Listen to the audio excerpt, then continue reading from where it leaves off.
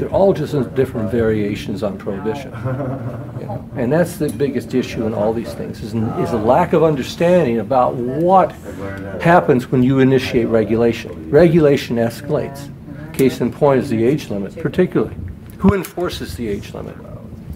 When you take and enforce it, what kind of penalties are you going to hand down for parents who allow their children to consume cannabis?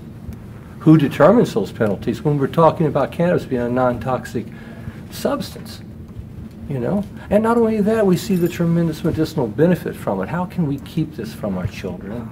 Yeah, it's incredibly criminal what we're doing Absolutely. right now. But this is the whole point. If we're talking about food, if we're talking about a non-toxic substance, the point in all this is, is that how do you take and make a food illegal, particularly a superfood?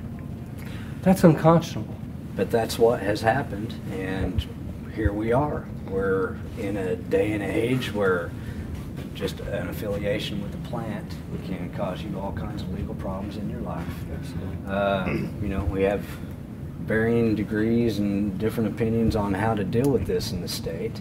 Uh, what I'm hopeful for is that with the filing of our measure today, that we're able to kind of complete a range of options that might be available to Missourians on their 2018 ballot.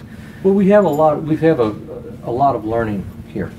This is 20 initiatives, you know, and the most important thing to do is to read them. And we have initiatives here that are over 14 pages. Why? What is that about? we need to find out. If this is something that you believe in, if you believe that, that we need to have heavy regulation for cannabis, then you really need to understand and read what, it, what, what, what we're going to end up with, you know. Right. And the- the other point in this, is like I'm saying, is, is that with heavy regulation in each and every one of these, these things, whenever you take and you create a rule, you create a penalty. That's just oh, the way it goes. Absolutely.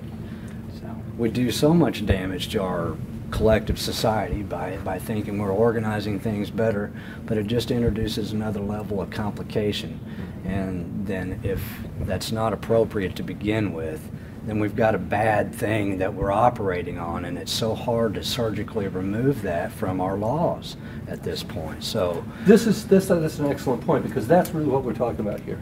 When we talk about a reset, we're talking about stripping away all the hypocrisy, stripping away all the nonsense, all the lies and things which basically we've had, had uh, so much, so much, all the state statutes here across the top of here, all these, all of this nonsense, you know, built on lies, on propaganda. You know. And, you know, and I have no problem, Mark, standing here right now as far as what's been put out by people like uh, the Missouri Sheriff's Association, you know, public attorney groups, uh, prosecutors. Those are, it's not true. Those are lies. Uh, these are people and industries that have a vested interest in maintaining prohibition by keeping it going.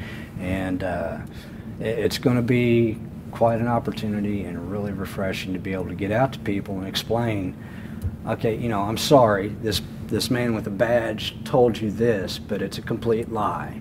And, uh, you know, we have to examine the truth, what science is already telling us about this plant, and what all, a lot of us know just This has been the problem all across this nation, has been uh, so much policy being drafted that is apart from the science. That's the unfortunate thing in that, in all this. It should be based in the science. It should be based in truth. What is it that we truly know about cannabis? We know cannabis is non-toxic. That in itself demands it's removed from the controlled substance list. The fact is, is that it's food. It has been food for the human race for over 25,000 years. Why, why would you take a superfood and make it illegal? Doesn't make any sense.